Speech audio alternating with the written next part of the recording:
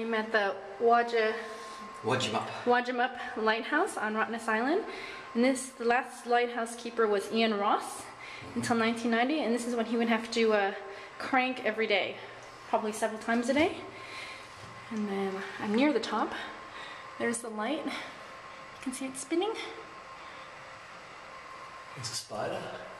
Oh, there's a big spider. My friend Michelle would really like this spider. It's quite big. I'm at the top of the Wadjemup Lighthouse. That is Narrow Neck to the, uh, so, that would be the, is that, that's not the southernmost the part west. of the westernmost island of Rottnest. And then, what a beautiful view.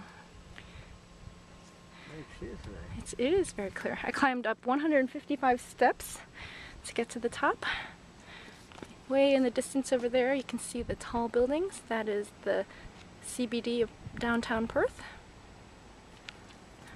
Wow. Oh, that's where I cycled. Oh. Oh. Oh. Oh, look. And there I go. That's a complete circle. Okay, there so we are. I'm at the top of Wadjemup Lighthouse with my volunteer guide John. Climbed 155 stairs after cycling around. Beautiful Rottnest Island.